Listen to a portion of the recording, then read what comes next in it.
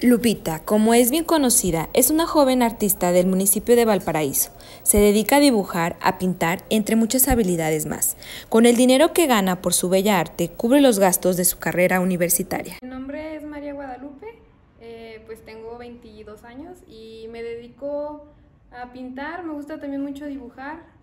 Pues en lo que me especializo más es en el dibujo a lápiz y hace poco comencé pues con la pintura también. Hace aproximadamente un año me invitaron a pintar en el kinder de mi comunidad.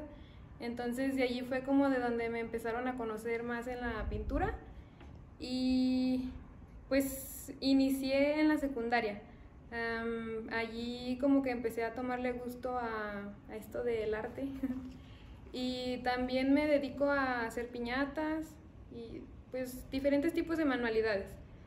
Eh, tengo mi página de Facebook que se llama Crealú y allí pueden encontrar todos mis trabajos. Me empezaron a decir mis familiares y así que, que dibujaba bonito, entonces fue cuando me lo empecé a creer y no me animaba a hacer ah, dibujos como a personas extrañas pues, solo hacía como para mis amigos o así.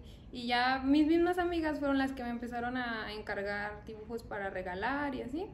Entonces mi novio también se encargó como de animarme a que como que lo publicara para que la gente me empezara a conocer y me empezaran a encargar así trabajitos.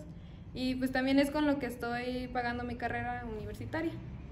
La experiencia más bonita y satisfactoria que ha tenido en las obras de arte es poder ver la cara de satisfacción de sus clientes y poder ayudar a crear recuerdos.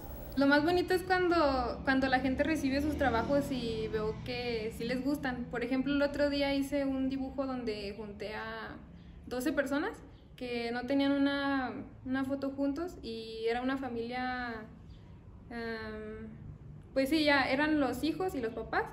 Y lo más bonito que fue cuando le entregué el dibujo a la muchacha que me lo encargó, porque, no sé, vi su emoción y me emocioné yo también y me quedé pensando que hay mucha gente que no, no tiene la posibilidad de tener un recuerdo con su familia y juntarlos yo, pues se me hace bonito.